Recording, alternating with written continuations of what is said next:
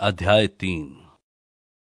इसलिए जब हमसे और न रहा गया, हमने ये ठहराया कि एथेंस में अकेले रह जाएँ, और हमने तिमुथियुस को, जो मसीह के सुसमाचार में हमारा भाई और परमेश्वर का सेवक है, इसलिए भेजा कि वो तुम्हें स्थिर करे और तुम्हारे विश्वास के विषय में तुम्हें समझाए, कि कोई इन क्लेशों के कारण डगमगा ना जाए, क्योंकि तुम आप जानते हो कि हम इन्हीं के लिए ठहराए गए हैं। क्योंकि पहले भी जब हम तुम्हारे यहाँ थे तो तुमसे कहा करते थे कि हमें क्लेश उठाने पड़ेंगे। और ऐसा ही हुआ है, ये तुम जानते भी हो। इस कारण जब मुझसे और ना रहा गया तो तुम्हारे विश्वास का हाल जानने के लिए भेजा कि कहीं ऐसा ना हो कि परीक्षा करने वाले ने तुम्हारी परीक्षा की हो और हमारा परिश्रम व्यर्थ हो गया हो।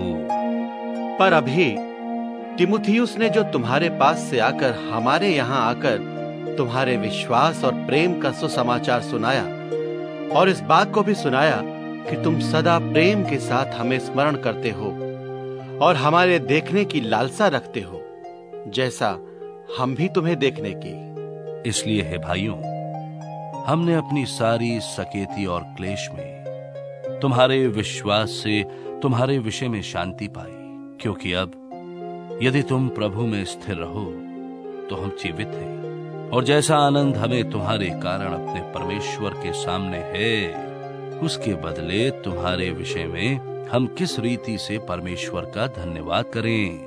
हम रात दिन बहुत ही प्रार्थना करते रहते हैं कि तुम्हारा मुँह देखें और तुम्हारे विश्वास की घटी पूरी करें। अब हमारा परमेश्वर और पिता आप ही और हमारा प्रभु यीशु तुम्हारे यहाँ आने के लिए हमारी अगुवाई करे।